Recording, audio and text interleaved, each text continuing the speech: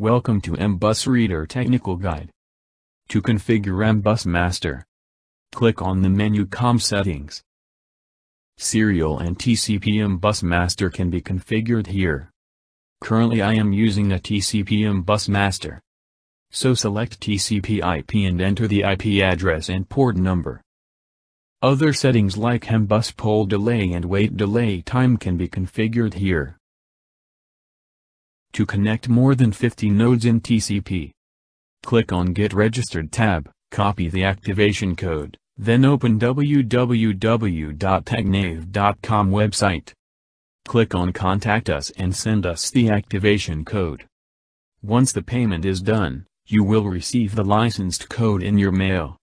Paste it in this page and click Register button.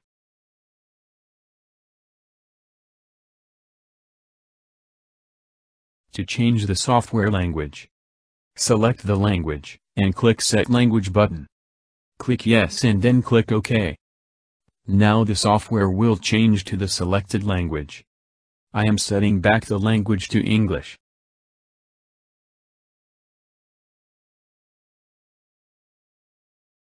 Enter the TCP master IP and port number, and click Test Connect.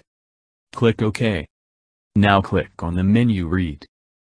The meters connected to the MBus master can be traced automatically using secondary or primary address search. Select secondary ID and click Search. Now Universal MBus telegram will send to the meters. You can check the search process on the right side monitor log screen. The traced meter list will load in this table. To read the meter data, select any meter and click Read button. Now the decoded meter data will display below. Click on this button to view the data in full screen. Meter can be read by right-clicking on the meter row and click Read.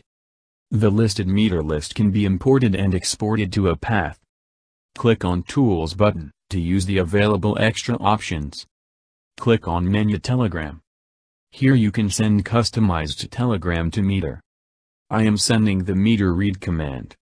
In the below screen, you can see the raw data from the meter.